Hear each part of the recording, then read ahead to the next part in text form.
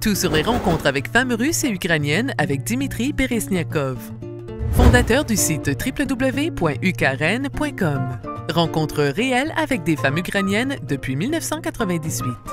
Fondateur du site www.antiarnaque.org, le plus grand portail francophone dédié à la lutte contre les arnaques du cœur. Bonjour, aujourd'hui on va parler du budget pour épouser une femme russe et ukrainienne.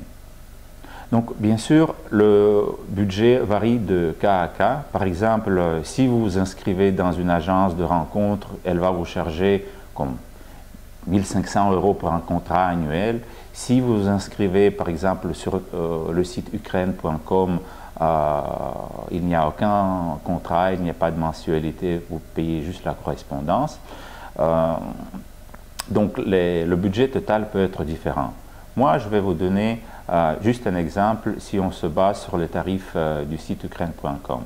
Donc, les frais sont les suivants. Les frais de correspondance, qui sont optionnels parce qu'on conseille toujours à nos clients de minimiser la durée de correspondance pour passer aux rencontres réelles.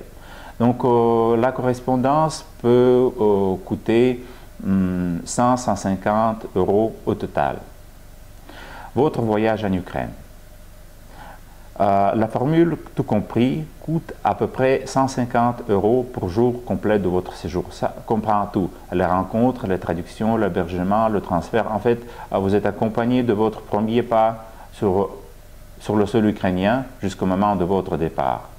Vous avez une assistance 7 euh, jours sur 7, 24, 24 heures sur 24. par la suite, vous devrez faire venir la femme que vous avez rencontré chez vous. Donc il y a le frais de billet d'avion. Euh, si c'est la France, c'est 300-400 euros. Euh, en plus, il y a le frais de visa, euh,